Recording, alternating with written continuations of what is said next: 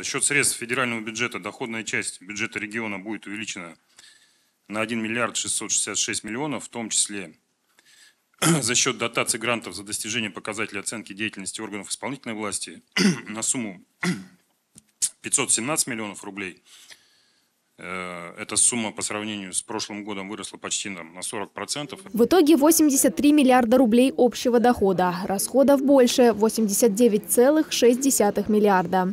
Большая часть бюджета традиционно идет на социально значимые направления. Так, на сферы ЖКХ и строительства планируется отправить более 273 миллионов рублей. Из них 148 миллионов на теплоснабжение, еще 68 на водоснабжение. Министерство просвещения и воспитания 260 60,6 миллиона рублей. Э, здесь обеспечение бесплатным питанием учащихся образовательных учреждений, э, компенсация родительской платы 50 миллионов рублей, оплата коммунальных услуг э, почти 40 миллионов рублей. Благополучие региона во многом зависит от уровня здравоохранения. На эту сферу тоже выделяются солидные суммы из областной казны. 164,2 миллиона рублей – это обеспечение деятельности областных учреждений здравоохранения, уменьшение дефицита терпрограммы 85,8 миллиона рублей и 35 миллионов рублей направляется на дополнительное лекарственное обеспечение региональных льготных категорий граждан. На спорт чуть более 61 миллиона. На работу областных госучреждений социального обслуживания 36,5.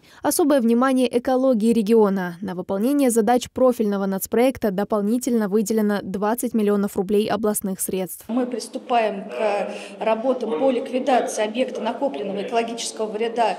Это полигон, а, закрытый полигон а, вблизи поселка Красный Яр. А, общий объем финансирования проекта порядка 400 миллионов рублей.